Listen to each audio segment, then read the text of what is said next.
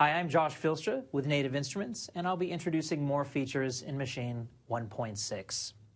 In addition to plugin hosting, Maschine 1.6 features several workflow enhancements. Many of these are the direct result of requests from our users.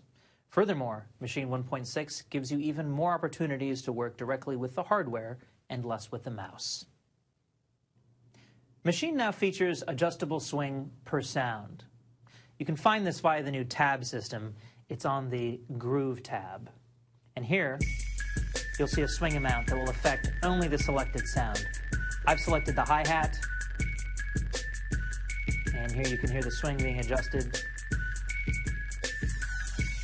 for just the hi-hat.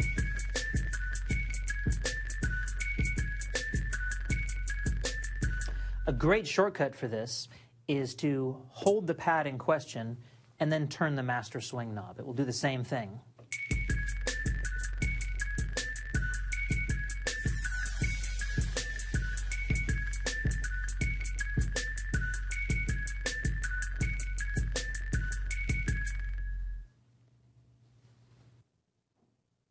Maschine now features Pad Link. This is a feature that allows you to strike one pad and have it trigger others. This is great for getting an instant layer effect. You set this up by hitting the Pad Mode button. Any pads that are assigned to the same link group will trigger each other. I'll put these three snare drums in the same link group. Now, as you can see, all three of those are being triggered via this one pad. Furthermore, you can set up a master-slave relationship. I'll change these two pads to slave and leave the first one at master. Now the pad that's set as master triggers them all, whereas pads set to slave only trigger themselves. Another new feature in Maschine is internal drag and drop of audio.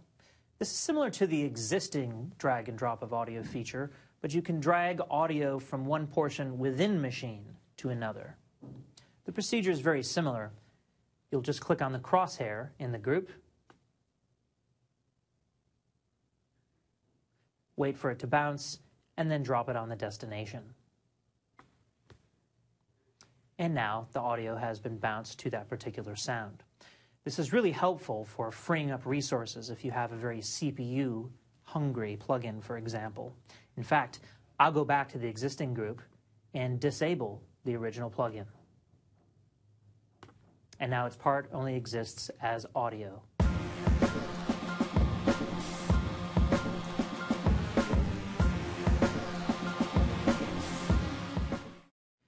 Maschine now allows you to rename certain objects such as clips within scenes. Just double click on the clip and give it a name. You can also directly rename samples now. Just make sure you're in the sample editor and then just double click on the sample and give it a name.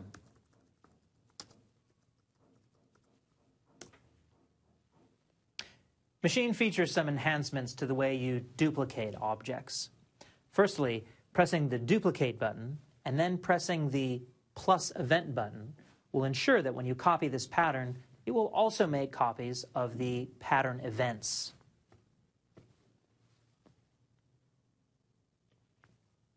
Secondly, pressing scene, then duplicate, will give you a new option, plus pattern. If you select this, then make a copy of the scene, it will also make copies of all the patterns in the scene that are not bound to the originals. You can then make changes to those patterns without affecting the original scene. Let me show you some of the new drag and drop features in Maschine 1.6. Firstly, you can now drag multiple samples into Maschine's mapping editor. I have several kick drums selected here, and I'm just going to drag them in, like so, Moving the mouse up and down will also control the horizontal span of the samples. You can now also freely rearrange scenes and patterns.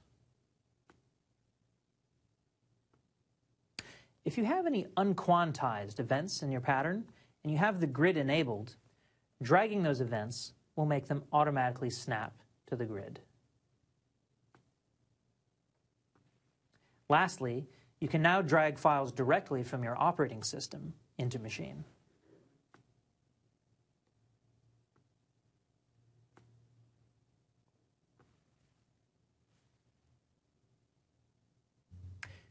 Maschine now features up to 16 stereo outputs. You can get to these on the Output tab of the Maschine hardware. And here you can see I have a total of 16.